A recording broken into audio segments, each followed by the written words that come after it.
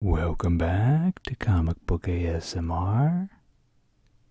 Today we're going to be doing another comic book haul that's going to be dovetailed by uh, my Emerald City haul, which isn't large, but y'all throw it in at the end. So first off, I want to say, proudly say that this video has been sponsored by the good people at Manta Sleep. And so Manta Sleep is a company that um, their specialty is sleep masks. And uh, most sleep masks, you know, it's usually just kind of like the little thin piece of cloth goes across your face to block out light. But uh, these guys have one upped that, so as you'll see here, most of them you'll typically have like this sort of thing. What they have here are these eye cups the eye cups block out a hundred percent of light. And these are also, you can adjust them anywhere on the mask. There's a little Velcro thing, and you can just move it wherever you want it on there. Because, you know, not everyone's face is symmetrical or anything like that. But, uh, and then the cups, the middle is caved in here. That's to keep in mind, like your eyelids and your eyelashes. So, you're blinking and stuff, you don't feel the mask still because you have that nice middle there. So they're super soft. And even too, if these ones don't work because it's kind of smaller, they have the bigger, the max eye cups you can use, which see they're wider. So if you've got bigger eyelashes or whatever, and see then there's this is the part I was talking about. You can move that anywhere on the mask and it's got a little guide hey this way is where your nose is going to be. So the thicker part is where your nose ridge is going to rest. So super helpful. Uh, also too the mask is adjustable. This whole thing you can move this part anywhere on the mask to tighten it. So really nice. And this is the base one. They do have other ones as well They've got like a thinner one if you really don't like the feel of stuff on your head. They have a weighted one, as you know, like weighted blankets and stuff. They help with anxiety. Same case here. If you want a little extra weight, they have that. Uh, they have aromatherapy options. Um, they've also got different types of um, cups as well. They have ones that you can make cold. They have um, ones you can make warm. Uh, they also have a silk mask you can do, as well as silk eye cups that aren't listed here. But they have tons of options. The mask includes this, and then there's a, a few little ear plugs in there as well, so you can block out all that sound as well. And they sell the earplugs separately if you like, but there are two included with the mask as well. And then there's even another mask too that's not shown on these. It's the Pro mask. It's thicker and it's got more reinforcement on the side for side sleepers. Now, I am a side sleeper, and this worked pretty well for me anyway. But just in case you're still like, oh, this didn't quite do it for me, uh, they do have that. But um, yeah, so uh, basically, what you want to do to help the channel out is just click the link in the description. It'll take you to the site, and I'll get a little commission off of that. So once once again, thank you very much, uh, Manta Sleep. And uh, let's get on to the haul here.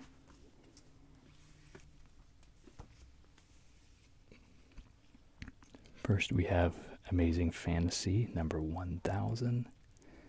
So, you all know Amazing Fantasy was where Spider Man got his start. Uh, so, this is a nice little compilation anniversary type of book. A lot of big names in here, as you can see. We got art by Michael Cho in here, um, Jim Cheung, Ryan Stegman, Olivia Ocopio. Um, I don't know this guy Giuseppe there, uh, Terry Dodson. Uh, I don't know Marco there, Steve McNiven.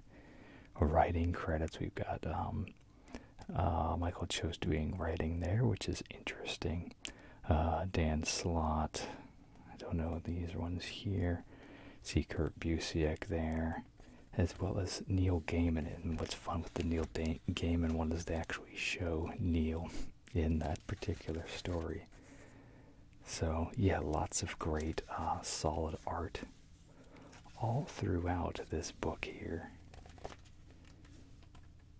And then in the back there was a, a writer who passed away, and so they did like a special spotlight credit on their story.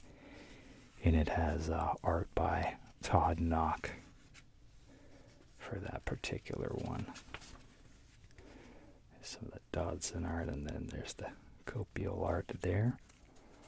So, yeah, this is a nice little book here. And then that cover, of course, that's the variant by J. Scott Campbell. And this is the McNiven. And yeah, see, we've got Neil Gaiman. He actually, it's about him when he met Steve Ditko, which is pretty awesome because Ditko is a very private person. And so it's just kind of recounting his time meeting him there. So yeah, unfortunately, the writer uh, Mike Pasciullo passed away, and then Todd Nauck did uh, the art in this one. And so this is its own little kind of spotlight amongst this. So yeah, really nice. And I was surprised that this wasn't ten; it was actually eight dollars for this particular one, even though it's you know square bound, probably a hundred pages. Next, we got kind of a unique project here. This is a book inspired by Evanescence uh, called Echoes from the Void. I believe the concept is um, they're doing a series of um, different songs with, you know, visual interpretation to those songs. I don't know a ton of Evanescence. I mean, I was introduced to them through the Ben Affleck Daredevil movie back in the day. And I mean, that was really effective for that movie. I know people pan it all the time, but I actually enjoyed it, and I definitely was, you know, um, given goosebumps from, from the Evanescence's music throughout it. So, I had a few songs in there. So, that was the first time I had ever heard them and yeah, I've heard a few other of their songs, but I'm certainly not a super fan. But as you guys know, I love music and I love art. So anytime that can be combined, you know, I am super excited about it. And it's going to continue on here. So this looks like the art style for the next issue. And then they've got other kind of um projects as well. I saw the Disturbed one before. I believe that the Disturbed cover was initially back in the day uh, done by Greg Capullo. I could be wrong. Um, but yeah, so they've got all sorts of different uh, musicians here and with comics coming out. And then they have a Evanescence Breath of the Wild variant cover there, which is fun. So, and then there's the tour dates. So, pretty cool, kind of unique, you know. And we have Action Comics number 1046. So, as you guys know, we've been doing the uh, Detective Comics Bermejo covers, and it looks like, hopefully, fingers crossed, he's moved on to do a series of Superman covers. Hopefully, this is not a one off for him. But if it is, okay. But as you all know, I love Bermejo. So yeah, the War World story still going strong. It's actually gonna wrap here. I have uh, a special to show off. And it finally wraps up in that special. So unfortunately, I'm still not seeing any Federici art. Uh, maybe it was just kind of a deadline thing which is a bummer because I really felt that his style elevated the story, you know, with that gladiatorial Superman and everything, and just kind of how he draws. It just really fit very well. Um, so I'm kind of bummed, but that's unfortunately how it is in comics a lot. If, if you can't work fast enough um, to hit those deadlines, they've got to find someone who can. So I don't know if that's what happened, but it certainly seems that way. So finally is the Superman World Apocalypse number one. And this is the conclusion to the whole event. And yeah, once again, we see um, quite a few different uh, artists there, but I do not see Federici among them. So I can only speculate that that's what happened. I see on occasion he'll do like covers and stuff he's been posting on his um on his Instagram and things like that. But you know you can only glean so much from that. But I've been enjoying this. This has been a really great, uh, memorable storyline. Surprised it's gone on. I mean, it's literally been like a year. So, kind of surprising. But it's been worth it. So, I look forward to reading this and getting that conclusion to this sweeping epic. Okay, next we have the Batman White Knight Presents Red Hood. This is book two. We see, I'm trying to remember the name of this character, but his episodes in Batman Beyond were some of my favorite. And they even kind of talk about ASMR inadvertently, and this was years before ASMR was considered a thing. I think this was back in maybe the year 2000. Um, the the boss there he rewards his goon by giving him time with a tuning fork to elicit pleasure from him. so I'm like, I'm wondering if the guy who wrote this episode had any clue about ASMR at the time. But yeah, uh, what's his name? I think it's Shriek, if I remember correctly, is this guy. And even in the in the uh, cartoons, I think he looked a bit like Ephemeral Rift, just kind of how he looked. Here he looks a tad bit different. But yeah, when I first got introduced to Ephemeral Rift and all that type of stuff, and ASMR in general, was through his channel and his comic book video he had done. And so I'm just like, this guy kind of reminds me of that guy where I remembered about that episode with the tuning fork and all that.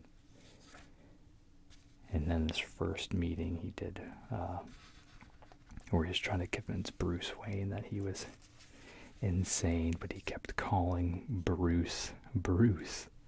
And he's like, I knew it wasn't my voice because I call myself Batman. so just kind of a genius plot point there. But yeah, so this continues to be good. This is by a different artist than Sean Gordon Murphy but the book is still set in, you know, the same story that Sean Gordon Murphy has been building. So, yeah, it's good stuff. Next, we have a cool one here. This is the Detective Comics 27 facsimile. So, this is an accurate recreation of the first Batman comic so it's complete, I believe. It's as accurate as you can get it without having counterfeit issues. I suppose it's got the Slam Bradley story in there and all sorts of just random stories. The Batman story is actually not that much of the comic, but that's why it's fun because often that'll get reprinted, you know, in other trades and things like that. But this gives you the full comic in one sitting here giving you the true glimpse of kind of experiencing the book when it came out. So, so pretty nice. And then there is, of course, the chemical caper or whatever it was called here. The case of the chemical syndicate, yeah. So yeah, there he is.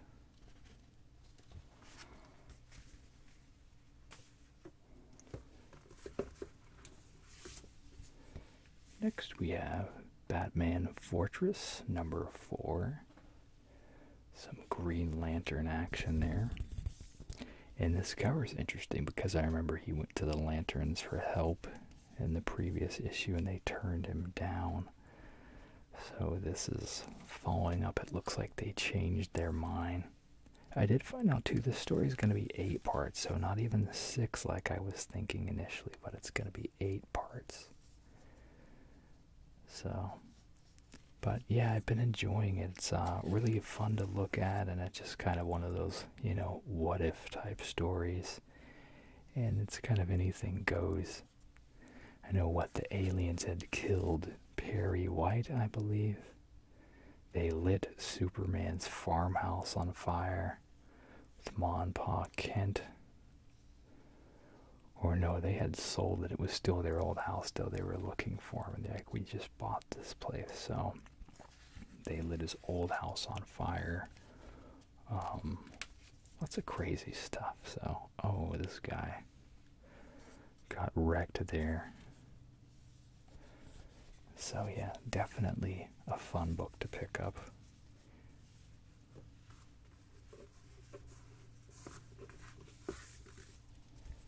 Uh, next, we have Detective Comics number 1063.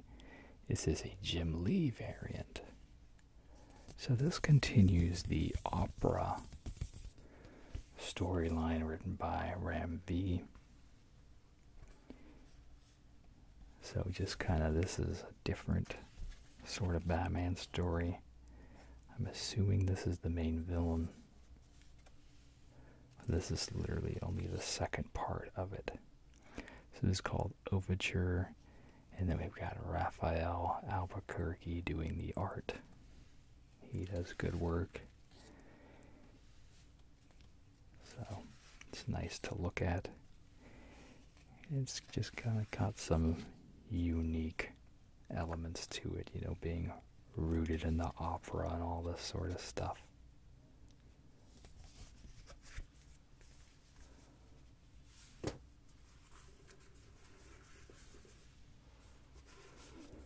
Okay.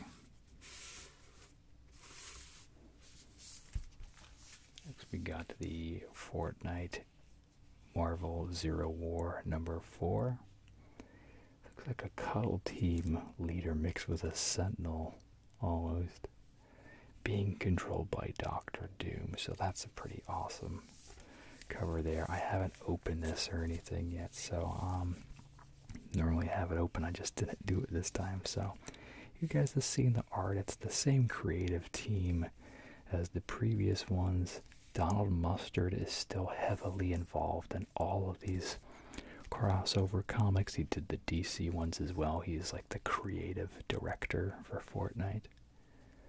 So it's really cool to see that he is still being involved in the process. And I actually don't know what the code from number four will get you. I think this one had just come out. So it's a surprise to me, but the codes have been really good. You've got like a Spider Man suit, a Wolverine, uh, and then you get like, uh, you can have his claws for other people to use, I believe. So next we're going to transition to a few bigger items we got. So I got the Spawn Compendium number three, which what's exciting about this is Todd um, has never gone through and reprinted all of the Spawn stories. I believe there are issues in here that a lot of people um, have never been able to find because as you know Spawn went on, less people were buying it, unfortunately, and so the print count got lower. And so a lot of the people who bought their issues in this run are keeping them you know, and even some of the later ones that I have, like in the 200s, are like that too. So, so he's really pushing, um, you know, the celebration of Spawn here and trying to get people to get caught up now, which is awesome. He's seeing the market wanting his product, being hungry for it, uh, and rightfully so. You know, Spawn has been around for a bit now, so it's cool that he is going back and kind of doing that victory lap in making these stories uh, accessible for those who either missed out, like I did, or, you know, don't want to ruin their nice copies of their books they have or whatever it is. My only gripe still, they do not put the actual covers for these He's doing separate cover run books. He's only done one volume so far. I think it's issues number 1 through 200, so it's only covered literally up to here is through 150 so far. So but it's nice that he's still doing this because I mean if he put the covers in here then you know you're looking at an additional 50 pages in each book and these are already ridiculously huge especially for you know a trade paperback. This thing is massive. It probably weighs seven pounds something like that. The $60 book if this was a hardback it would easily be a hundred. So he's making it more attainable by going with the trade paperback route. Um, so yeah, just very cool, and he is guaranteed. He's doing um, a volume four as well. It's already been advertised and solicited, saying, "Hey, this is coming at some point." So that'll catch it up to issue 200, and he has never reprinted everything up that far. He's done a few arcs here and there. Um, but it's nice that he's finally putting them like this. And I've got, I started buying an issue, I think 220 or something like that. So, so I'll still need that fifth volume if he does it. Next we have Alex Ross's Fantastic Four Full Circle. And this is a beautiful, beautiful book. So this is all Alex Ross artwork. This is a full story he's done. But it's different. It's not all painted like he typically does. So the uh, the opening flap here, you do get what he's done in a lot of like the DC origins and stuff like that. You get like the full, you know, initial how everyone was made, which he's been known to do. But this just goes um, in a different direction. So the story is done in kind of this interesting. Uh, he's penciled and inked everything and he may have even done the coloring on this, but this is not uh, his typical painted work. Yeah, it says art and script, so this is all done by him, but it's done in a different way. And uh, I remember he did kind of like a side Kingdom Come story, I think just called The Kingdom, maybe, if I remember correctly, in like 2008 or so. It's like a one shot, and he did a little bit of that. So this kind of reminds me of that a little bit, where it was um, like his pencils and inks and it was colored over. So it's interesting if he literally even did the coloring process here, but he didn't go on to paint it. But yeah, it's just this art is still great to look at, even if it's not painted. The man is a master. Like this is still really, really nice to look at. So I look forward to checking this out and reading it. And uh, yeah, just kind of enjoying. It's very much rooted in the Kirby visuals, but you know, still true to how Alex Ross does his stuff too. So it just really, it's really excites me just looking through this and seeing this. I can't wait to read the whole story. And then underneath the cover here is like a little hollow hollow foil 4 on there. It's to clip the. There we go. So, yeah, really nice. So, and this was a $25 book. I don't think the story is. I don't think the story is uh, typically huge. I think it's maybe. Uh, maybe around 100 pages. You can kind of see it there. For $25 and to get a full Ross story, which you don't often find, is pretty awesome.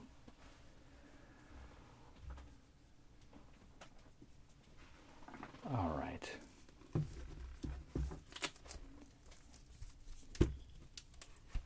Moving on to box number two, we have the Armageddon game number two for the Ninja Turtles. Yeah, so this is just um, setting up, and this is like the biggest event the Turtles have had in a long time for the IDW series. So this is kind of all their threats pooling together um, to just really mess stuff up. And Shredder is back, but he is actually helping the Turtles in this instance.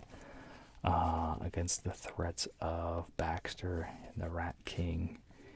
And uh, the Rat King, as I said before, here is not, you know, crazy guy living in the sewers. He's like a godly sort of entity who's friends with other kind of animal type gods. So the threat here is just a touch bit different than you know the the Rat King from the old days.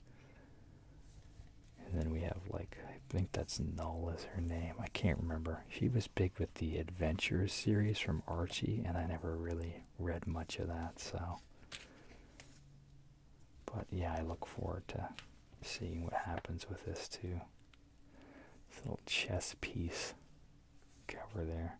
Oh, it's by Santolouco too. Santolouco is one of my favorite uh, Turtles artists. He doesn't do interiors much. The last uh, series he did for them was the Shredder in Hell story. I highly recommend. It was like a five-part mini-series. So good. Next we have Robin number 17 and he's dealing with some issues here that have been a little bit. I think this is set up, yeah, through the um, demon god who has recently been spotlighted in the world's finest book by Mark Waid. Damian has stumbled upon the opening, or will stumble upon the opening of this demon king who's like hundreds of years old and I'm sure it's going to possess him and make him do some not kind things to his father. So, and at, at least he is kind of possessed with this, though, because like Damian has grown a lot as a character. He's certainly not who he was. And as I've said before, I used to 100% hate Damian. Um, I just thought he was annoying, but I enjoyed his growth as a character, and um, he's come a long way. So I was like, oh man, they're gonna backtrack and just make him hate his dad again. But it looks like he's just gonna be possessed, and that'll be the reason for what happens. Next, we have Swamp Thing 16. This is the final issue in the series with this beautiful Brian Bolland cover. Look at that. Love Brian's style. So yeah, it'll be interesting to see what happens with this Swamp Thing uh, conclusion here. If you haven't bought it at this part, this is literally the last one, so I would recommend uh, looking out for the trades when they come out. Uh, I think this is some of these guys' finest work. It's just really detailed. Uh, it's really interesting to look at story's a bit over my head, unfortunately, but when you read so many books, um, complexities get lost, unfortunately. So, but that doesn't mean it's not a good story. But yeah, I certainly feel like this is uh, gonna be a, a highlight for sure in Swamp Thing's ongoing stories. So interesting to see what happens with the character next. Next, we have Scorched number 9. Said before, this is my least favorite of all the Spawn titles. Um, but it's still a Spawn title, so I buy it anyway. The art's good and stuff, um, but it focuses a lot more on the second string characters, which is fine. But, you know, mainly follow Spawn for Spawn. I just want to make sure I'm not missing any side liners, notes that come from these particular stories. Plus, they got Haunt in here now, so that's pretty cool. Haunt's a really neat character.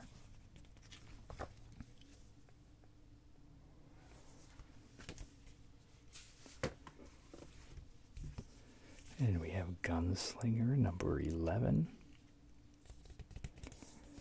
And I feel with both of these series, I'm trying to figure out where they actually fit in on the normal Spawn timeline, because it almost feels like these are kind of tugging at a different thread that are that's like leading up to other elements in the Spawn ongoing story. So that's a bit odd. I do like the art in this. I like the story. Just trying to figure out where everything fits in.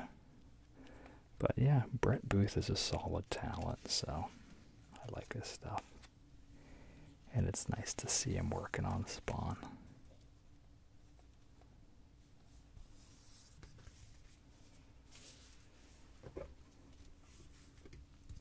Next, we have Baxter Stockman's Best of, which I'm surprised they continued on to do more of these. So uh, I'm trying to remember if they've who who all they've done yet. But this literally might be the last one. I think it may be because who else is there? In these later ones, they were really kind of showing um, the threats that are the current issue in um, the Armageddon game. So yeah, we get his first appearance here. Old school Eastman turtles here with the mousers and everything.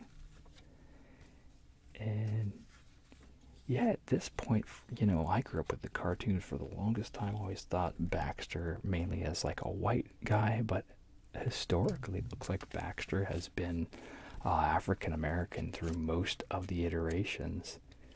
And even like this is the Fox uh, Turtles run from the Saturday morning show, which I never watched any of that, so I would like to actually go back and watch that. But this is a story from that line, and same thing, yeah. So it's interesting that, you know, I was raised on the 80s show and thought of him that way, but he's really an African American guy.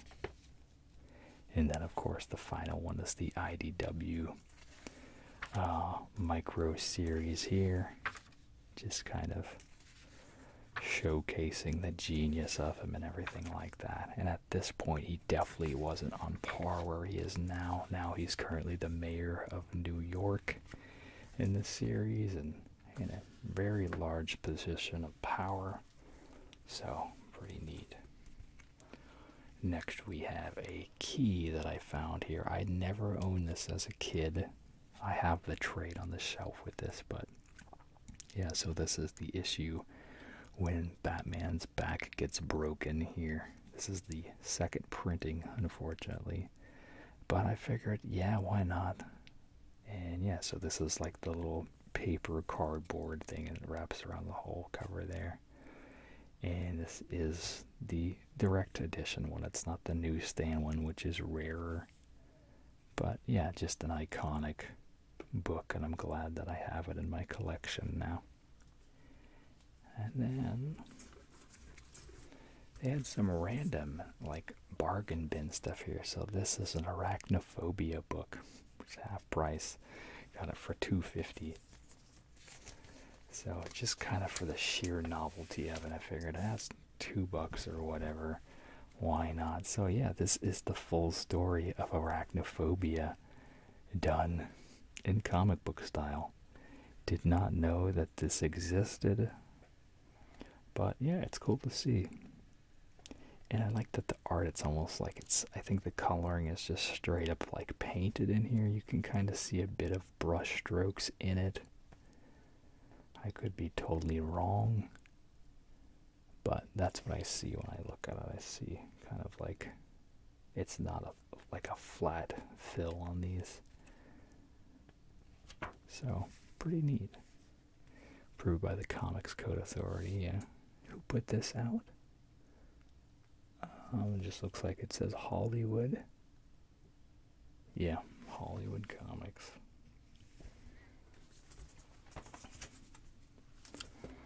And then we got another obscure book here, too. So, this is a comic about JFK. Once again, got it in the bargain bin they had this right by the register there. Half price books. Not, not the shop half price books, but the the box at the shop was marked half price.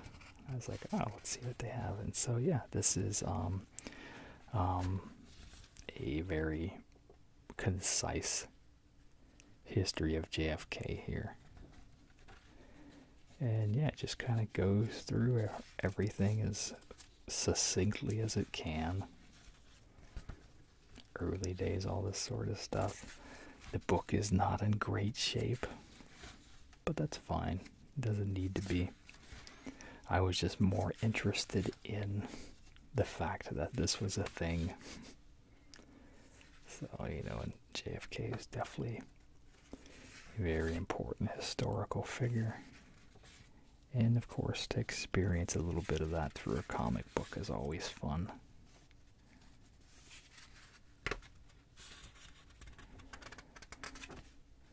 But yeah, it even covers the assassination and assassination in here. It's not graphic by any stretch, but so it does show the moment, just not the horrible, horrible visuals. I made the mistake of looking that up quite a few years back, and I can't believe how brutal that was. I'm still just, I can't imagine that. Wasn't aware it was so severe. So finally, I'm going to show off what I got at Emerald City. So it's not much, which is why it's bookend here. That's why there wasn't a full video or anything. So my book I had um, already had acquired previously had signed here. So this is Carnage's first appearance, signed by old uh, Emberlin here, the inker, co-creator of Carnage. The whole team helped co-create him. So yeah, I wasn't aware he was a part of that. He's been to quite a few conventions in the past. But I was like, oh, I wasn't aware. So then I got him to sign this, so that was cool. Um, he's an art instructor in Portland now, I believe. So he does quite a few art shows in the area here and there. Then we got my um, Harley Quinn signed by Matteo Scalera right there. So this wasn't a must-have on the list for me, but I'm like, oh, I like this art, I like this guy, so let's have him sign that. So, and I got my twig number one signed by the artist here, Kyle Strahm. It's the signature there. And as you guys know, I absolutely love Twig. So if you haven't picked it up, please do. I think the last issue just came out. It's a lot of fun. And they'll more there will more than likely be a second volume real soon. So and then I got um, to meet the guy who voiced the tick. So that was cool, which was a surprise to me. So we got a nice spoon inscription there. He wrote my name. Tick doing the dishes. And I should have actually got another signature on here too, but um, I was broke, so even getting this signature was not one I planned on because the tick was voiced by the same guy who voiced Mikey, which I didn't know. I'd always, you know, Mikey's the surfer guy voice. I always keyed into um, Townsend's work um, with the tick voice on like television bumpers and stuff for NBC and all this sort of thing. So, but yeah, he totally does a put on surfer voice. You know, he's channeling the guy from Fast Times, an old school 80s movie.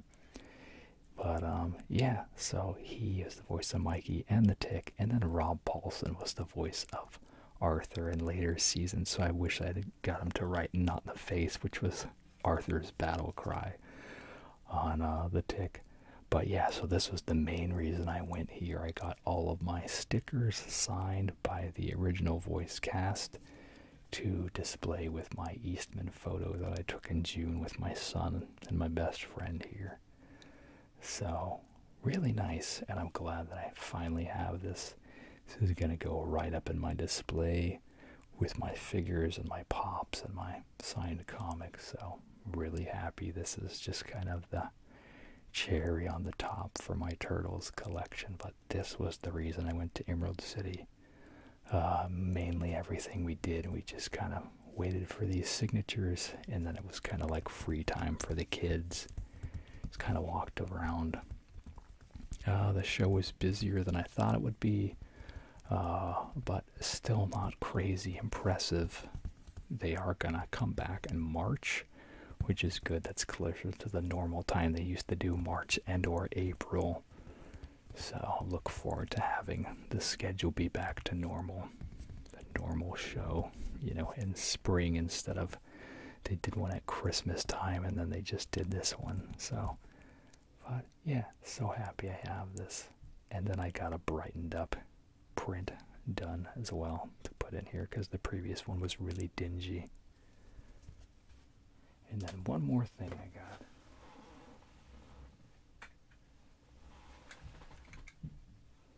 So this was the last like main turtle figure I needed here. It got Krang. I always wanted him as a kid.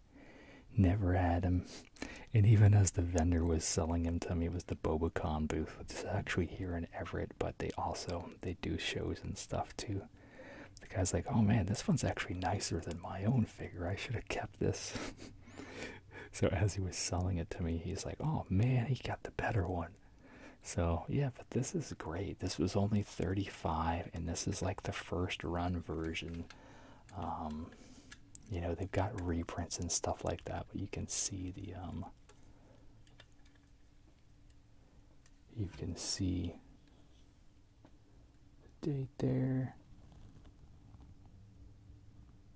1989 so yeah that's the first run they have i think they have one that just came out that's a reprint that they did it was like the Technodrome box with a four pack or whatever but yeah i'm so glad i have krang and i'll gladly put him up finish my display out all right well that's gonna do it for me Make sure to like, comment, subscribe, and as always, you all have a super slumber. Thanks. Bye.